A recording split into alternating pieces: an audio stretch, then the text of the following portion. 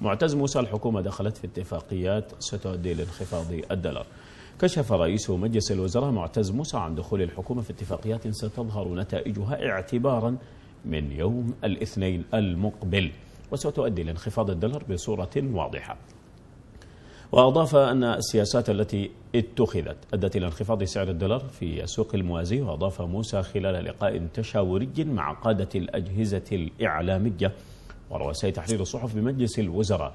أمس السبت إن قمة الحلول لمشكلة النقد ستكون في نهاية فبراير المقبل وتكتمل في مارس نهائيا مع إيمانه بأن المال حق لصاحبه. وكشف عن ترتيبات وإحصاءات لضبط الجازولين لوسائل النقل المختلفة ستظهر نتائجها خلال أيام قليلة. وطمأن المواطنين بأن الحلول التي تم وضعها أصبحت قابلة للتنفيذ لافتا إلى أنها أخذت وقتا وذلك بسبب الفرق بين مدة تشخيص المشكلة وتحديد علاجها. وقال أن الحكومة تبذل جهودا لتطبيق هذه السياسات على الواقع والتي أفضت إلى حل مشكلة البنزين والخبز. رئيس الوزراء يتحدث عن اتفاقية من شأنها خفض الدولار في السوق الموازية مع أن معتز موسى لم يفصح عن هذه الاتفاقية. توقعاتكم أستاذ مالك خاصة مع الحديث عن ودائع قادمة للبنك المركزي. وطبعا يعني قضية النقد الأجنبي وسعر الدولار من القضايا المرهقة جدا بالنسبة للحكومة. والمهم انه يستقر على سعر معين. لماذا؟ يعني إحنا نتحدث مثلا ميزانية 2019 الموازنة لابد أن تبنى على سعر صرف محدد. يعني لا تستطيع أنك تقدم موازنة سليمة إذا كان سعر الصرف ما معروف كم يعني هل 80 جنيه للدولار 70 75 50 الحركة حركة المد والجزر مضرة بالنسبة لسعر الصرف مضرة جدا للاقتصاد السوداني. المهم في الموضوع إنه سعر الصرف يستقر. حتى لو نقول 60 يكون مستقر. وبناء عليه الحكومة تقدر يعني تضرب حساباتها زي ما بيقولوا. بناء عليه المستثمر نفسه ويقدر يضرب حساباته وكذلك التاجر. لكن أي حركة انخفاضا وارتفاعا طبعا بتبقى في لخبطة في قضية الاقتصاد ككل في الحركة التجارية ككل وبيحدث ربكة. وبعد لا تسأل عن إنه يكون في مستثمر عاوز يستثمر أو عن بضائع تستورد بالعملة الحرة وهكذا. لذلك لا بد أن الحكومة تعمل على معالجة استقرار سعر الصرف على مستوى معين. يعني حتى لو انخفض السيد معتز موسى بيتحدث عن انخفاضه وفقا لتقدير آلية السوق. وهو تحدث عن أنه يعني الأمر الواقع سيفرز في النهاية اقتراب سعر الدولار في السوق الموازي من سعر الآلية أو يتطابق تماما. وهو تحدث أيضا عنه أحيانا بعض المشاكل اللي هي منها تذبذب سعر الصرف تحتاج لوقت حتى يثبت.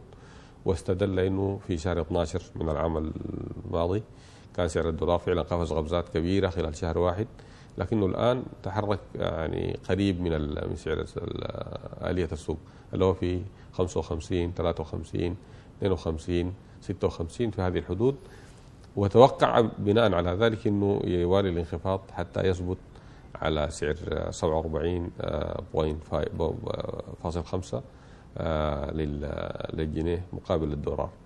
فأنا أتمنى إنه هذا الأمر يحدث ويكون العلاج دعني أواصل لو سمحت. العلاج موضوع الودائع والوديعة إلى مدى معين. صحيح. يعني ما ما هي ما ما حتى تستمر معك وحسن توظيف الودائع نفسه.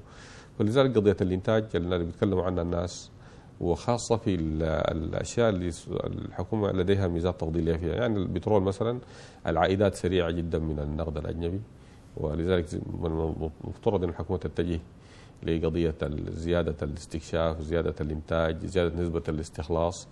قضية الذهب لا بد من سياسات يعني قوية جدا. يعني المنتج 100 طن تقريبا. السودان الثاني في القارة الأفريقية أو التاسع على مستوى العالم.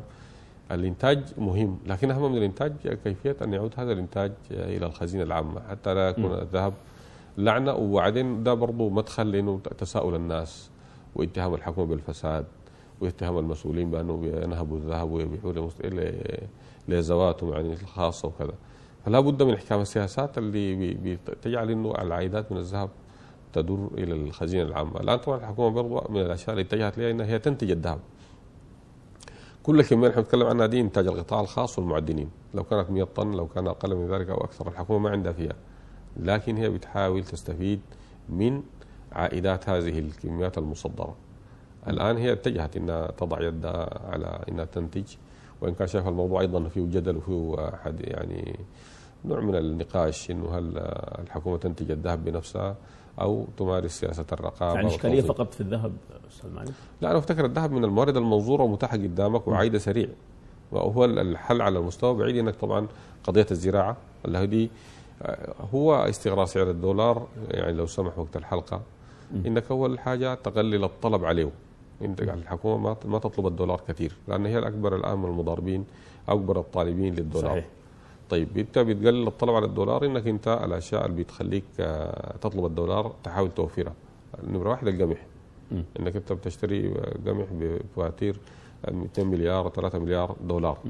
فلو أنتجته محليا بعد قللت الطلب. الإشكالية في أن زيادة الإنتاج نفسها ترتبط بعوامل أخرى كثيرة جدا صحيح. لأنه المزارع نفسه يشكو من الضرائب يشكو من كثير سلسلة من طويلة. نعم. سلسلة طويلة. الحل الحل المهم يعني بالنسبة للسيد معتز موسى إنه يضع البلاد على الطريق الصحيح ده ده المهم يعني الحل طبعا ما بيكون بين يوم وليلة صحيح, صحيح. لكن كل ما أنت وضعت نفسك في الطريق الصحيح كان عندك سياسات صحيحة تؤدي إلى نتائج صحيحة نعم. يعني بعد الصبر على هذه السياسات حتى تأتي نتائج إيجابية. بالحديث عن رئيس الوزراء معتز موسى وزير المالية دائما ما يتحدث عن جداول زمنية، ألا يمكن أن يضعه في محك؟ صحيح. بالنسبة إنه تحدي يعني وضغط كبير جدا. تلتزم بزمن أنا أفتكر إنه إيجابية إنك يعني هو يضع نفسه ويضع الطاقم العامل معه في المحك إنه في زمن. الحاجة الثانية المهمة دائما في في الخطط اللي بتوضع. وإحنا الآن بنتكلم عن خطط على مستوى كبير على مستوى الدولة وعلى مستوى الحكومة. إنه لابد إن الخطط تكون قابلة للقياس والتطبيق يعني. تكون قابلة إنها تطبق. وقابله انها تقاس والزمن واحدة من أدوات القياس. صحيح. وأنا أفتكر إنه حتى لو أخفق يعني على أي حال هو أرسى منهج جيد في العمل وبناء عليه بيتم محاكمته. هو انت بتقول يعني لكن لو المسؤول ترك الأمر هكذا يعني زي شغل الشغل العادي بتاع الناس السوق إن شاء الله وحيكون قريب وشيك. ده ما منهج علمي.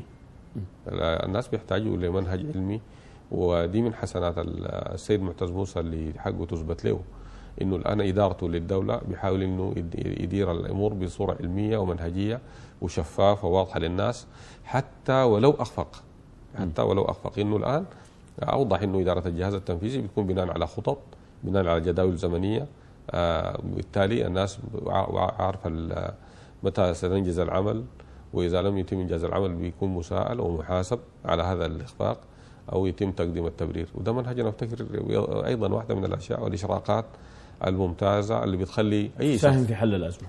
وأي شخص يجي بعد معتز موسى يعني يستحيل إنه يتراجع عن المنهج السليم.